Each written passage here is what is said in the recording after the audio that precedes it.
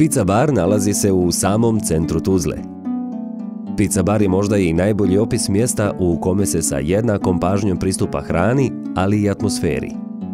Recept za atmosferu kao da je preuzet iz lounge barova svjetskih hotela, a recept za picu iz Italije. Pripremu pice počinjemo sa tijestom. Nekoliko tajnih sastojaka pomiješano zajedno sa brašnom, uljem, šećerom i soli. Sos se dobija kombinacijom bonito paradise pirea i bonito začina. Na tijesto premazano sosom dodajemo mnogo sastojaka i upravo je bogatstvo nadjeva ono što ovu picu čini drugačijom.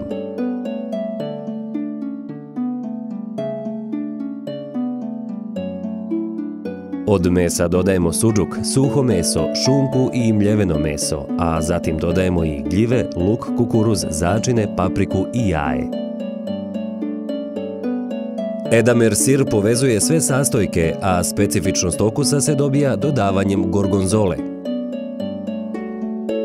Ovako pripremljena pizza peče se na 350 do 400 stepeni.